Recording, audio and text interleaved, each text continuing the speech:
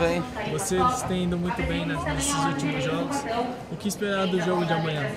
Esperar que a gente possa ganhar, fazer um bom jogo e sair com resultado positivo. Você espera fazer um gol? É lógico, né? Mas, se, mas quem fizer tá ótimo.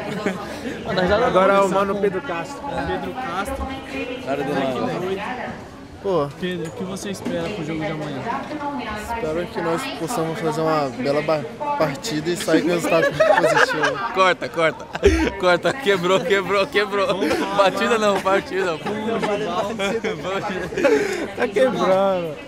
Oi. Como você tá vendo essa viagem aí um pouco de atraso, né? Não precisa ficar muito sério, isso aqui é brincadeira, mas tranquilo. Você tá achando essa viagem? Ah, a viagem tá tranquila até agora, né? Tá... É culpa da Caroline. Aconteceu. É culpa da Caroline. É culpa da Starline.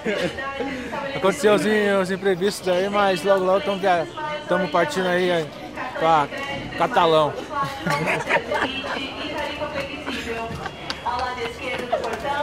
Corta. Eu olhei aqui agora. No Leandrinho não, já deu, pra mim já deu. Eu, de novo eu, velho. Por que eu?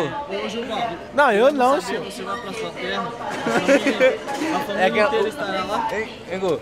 Programa do Gugu, de volta pra minha terra. Volto pra minha terra no programa do Gugu.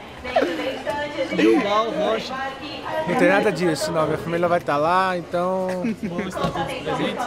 Vai, vai sim, todos presentes. Então, salve aí, rapaziada. Só pra nóis. rapaziada aí. Tamo junto, meu mano Leandrinho, diretamente de Nova Odessa. Nova Odessa para o capital. mundo.